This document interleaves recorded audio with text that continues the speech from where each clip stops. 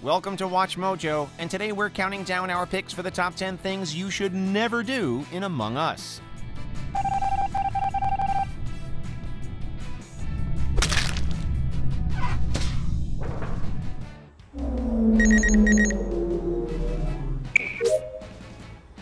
For this list, we'll be going over some major don'ts when playing Among Us. If you have any other bad ideas to avoid in the game, don't avoid our comments and tell us about them.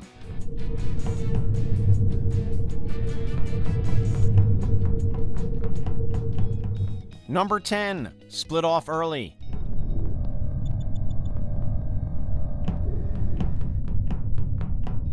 The first round in a game of Among Us is often critical to determining the course of the match.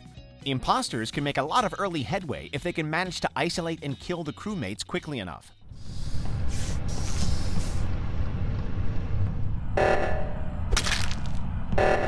For this reason, going off by yourself or in a group of 1 to 3 immediately is a good way to either get yourself killed first or look sus to the rest of the group. While the former is definitely a crewmate only problem, the latter is something you want to avoid regardless of whether you're crew or imposter.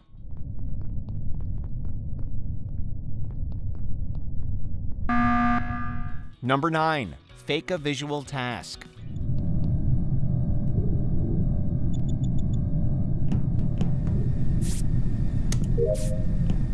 When you're crew, faking any tasks is generally pretty dumb, but it's part and parcel for being an imposter. But there are some tasks that are impossible to fake if a certain setting is turned on.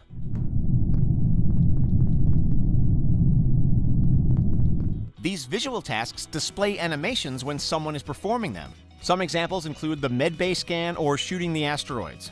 If an imposter tries to pretend they're doing one with the animation turned on, any nearby crew can easily spot that they're not who they claim to be and get them voted out.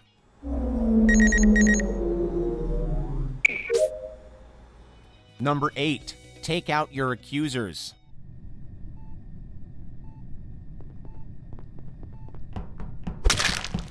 During discussions, things can get pretty heated. When you're an imposter, it can be tempting to want to kill the crewmates who speak against you in meetings.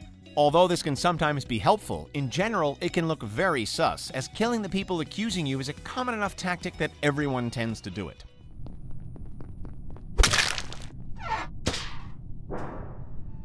So, unless you want to try to pull off a double bluff, like, why would I kill my accuser? That's such a small brain play, you're going to want to avoid taking out your biggest critics. Instead, if possible, try to gain their trust by traveling with them and not killing them while your partner, if you have one, goes on a killing spree. Number 7. Lose track of your alibi.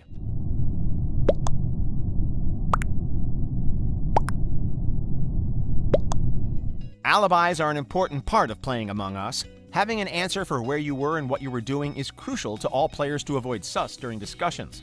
If you can't remember where you were on the map or the tasks you were performing, then you're definitely going to look more guilty to other players.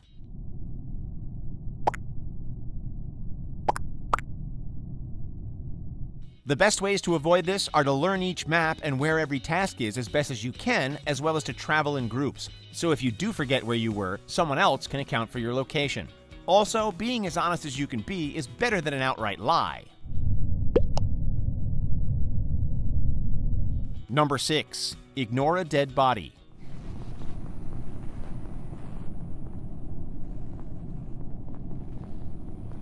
Corpses can be scary, but ignoring a dead body is generally a bad idea if there's anyone else around, regardless of whether you're crew or not. If you can make a clean getaway as imposter, then by all means leave the body there. But if not, it's better to take the suspicion that you're reporting a kill you made than to be seen standing next to a body you didn't report.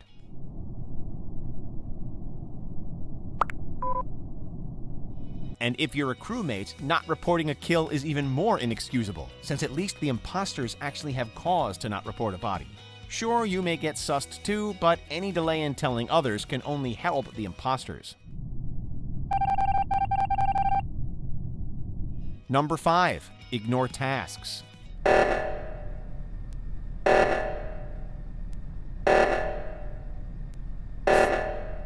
Tasks are one of the crewmates' two ways to achieve victory. By completing all their tasks, the crewmates win. While some players like to prioritize detective work, it isn't okay to forego your duties entirely.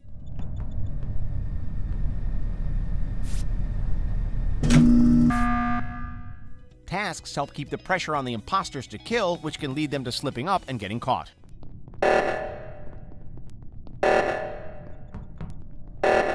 By ignoring tasks, a player allows imposters to take more time to pick and choose their kills to avoid discovery, while putting more pressure on themselves to complete tasks towards the end of the game.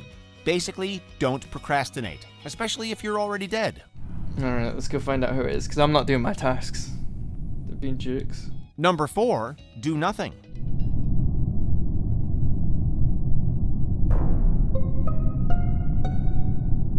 Although doing nothing may sound like the same as not doing tasks, it's a little bit more than that. As an imposter, you can't win unless you kill at least one person. As a crew, even if you don't do tasks, you can still keep an eye on other players, such as by looking at security cameras or logs.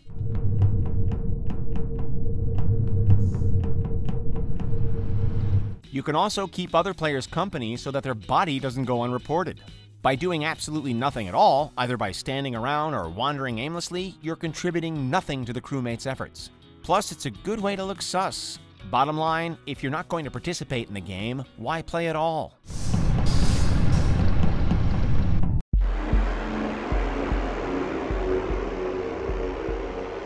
Number 3. Go solo.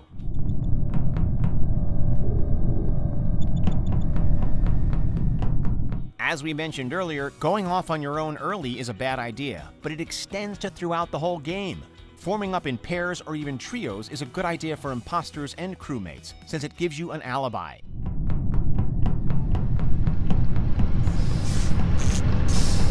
The buddy system is also useful for rooting out the imposter, because it means that if one of you does betray the other, the rest of the crew know who to blame.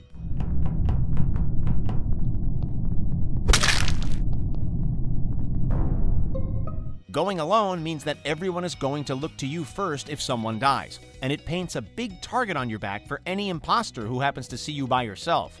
Like the wise man from another game says, it's dangerous to go alone.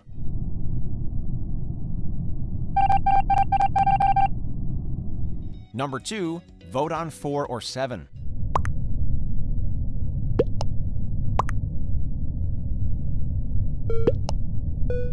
Voting someone out isn't always smart. Although kicking out someone sus is generally pretty safe when there are between 8 and 10 players left, after that it becomes more complicated. If there are 7 people left, it's generally a bad idea to vote if there are 2 imposters left.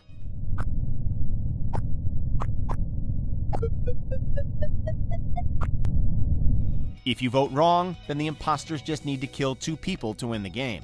Likewise, voting when there are 4 players can also be dicey. If you vote incorrectly, then the imposter merely has to kill one of the two remaining to snatch victory away from you. In both cases, skipping means a body is more likely to be reported, and thus, you'll have more info to make an informed decision.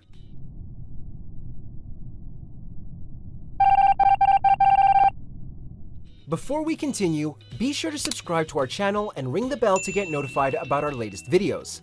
You have the option to be notified for occasional videos or all of them, if you're on your phone, make sure to go into your settings and switch on notifications.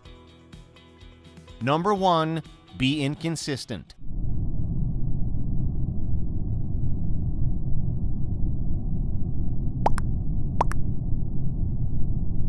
No one is an imposter or crewmate 100% of the time. Sooner or later, you're going to play as the other.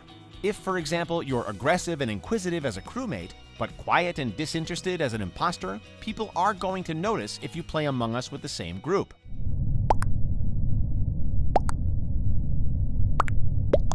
Any difference in how you usually play is going to look sus to people you play regularly with and get you discovered as an imposter or wrongfully kicked out as a crewmate. Therefore, it's important to remain consistent in your playstyle. That way you get to play longer and have more fun.